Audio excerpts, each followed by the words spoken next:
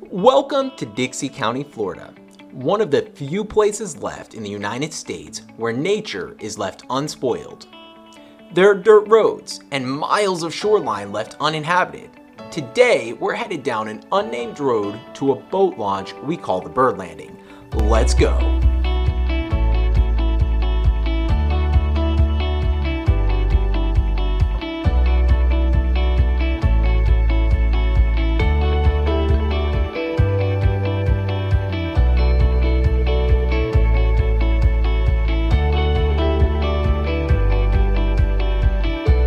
We still have to get our kayaks unloaded and our gear set up, but we'll be in the water and out fishing in no time.